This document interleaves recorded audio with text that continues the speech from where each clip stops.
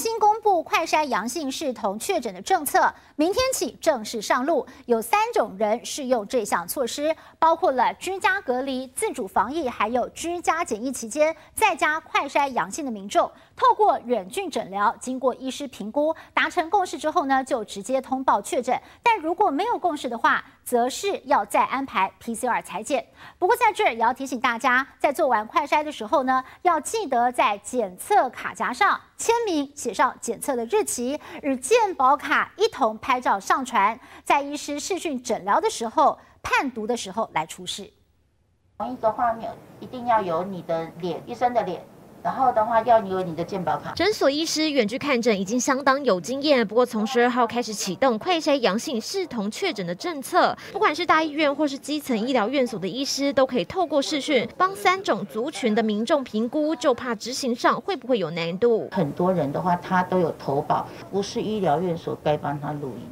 我们医疗院所，它是站在一个人道立场，只会担心伪阴性只要是居家隔离、自主防疫、居家检疫这三类对象，快筛阳性，经过医事人员判定确诊，就不用经过 PCR。但视讯诊疗前有前置作业，民众必须在判读阳性的检测卡匣或是检测片上签名，写上检测日期，与健保卡一同拍照上传，在医师远距视讯时出示。经过医师评估，双方如果没有共识，就要通知卫生局安排 PCR 裁剪。但如如果快筛阳性的结果双方都没有疑虑，就可以上传阳性结果，自动通报或到法传系统通报后，系统就会自动判定为确诊。防疫新规定还有确诊孕妇的用药上，指挥中心也有松绑。经过医师评估后，即日起可使用辉瑞口服药。不过另一款莫纳皮拉韦的口服药，目前仍不建议孕妇使用。怀孕的妇女是不是可以试用口服药？还没有很足够的临床资料可以参考，基本上还是要个别的。